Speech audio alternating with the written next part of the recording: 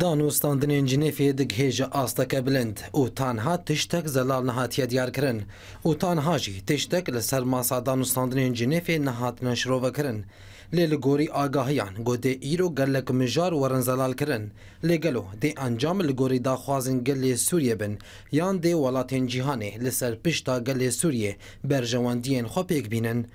Ji aliyekê din ve jî û piştî ku du hin agahî hatin belavkirin ku dê di Mistora belgeyekê pêşkêş bike û tê de ku dê Beşar El Esed li ser desthilatdariyê bimîne û dê sê ciger jê re werin danîn û li aliyekî din jî hin agahî hatin belavkirin ku hin aliyên navnetewî dixwazin şandeyên şêwermendiyê û desteya bilind tevlî hev bikin. Her wiha û piştî van agahiyan, nûçeyên nû hatin belavkirin ku li hevkirnek di navbera Washington û Moskow de çêbûye, da ku danûstandinên Cinêfê bi dawî bikin û hemû aliyan jî razî bikin, lê gelo xalên wê li hevkirinê çi ne? Li gorî agahiyan ku armanca li hevkirina Rûsya û Amerîka, da ku Beşar El Esed li ser desthilatdariyê di heyama veguhestina siyasî de bihêlin û di vebandora wê jî hebe wek destûr û hilbijartinên ku dê piştî heşt heyvan ji danûstandinên Cinêfê dest pê bikin.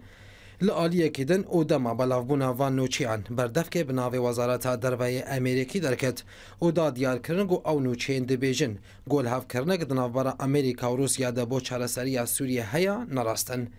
Piştî ewqas nûçeyan û dive em bêjin jî got dûman bê agir tune ye. Gelo dê danûstandin berdewam bikin yan dê şandeya rikberiyê ji Cinêfê vekişe Wek ku li ser zimanê serokê şandê Es'ed El-Zu'bi hate gotin ku eger xwestekên wan pêk neyên dê xwe ji danûstandinan vekişînin